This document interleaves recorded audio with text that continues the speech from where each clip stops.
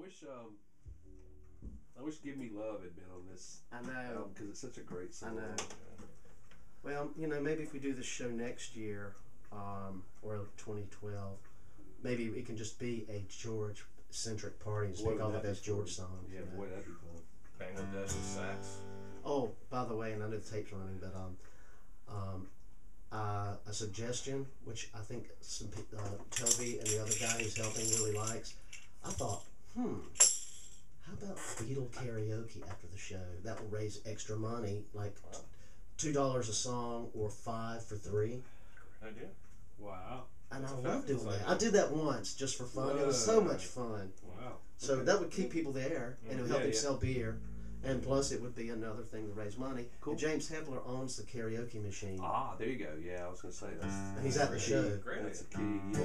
Cool. So it's, it's not in ink yet, but it's something that he's interested in, and Toby liked the idea. So I just thought, well, Only if somebody does Revolution Nine. right, right.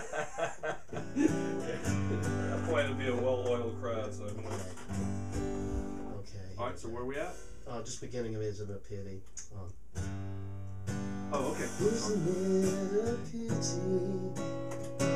That's not good. Isn't it a pity? Now isn't it a shame? How we break each other's hearts and cause each other pain. Take each other's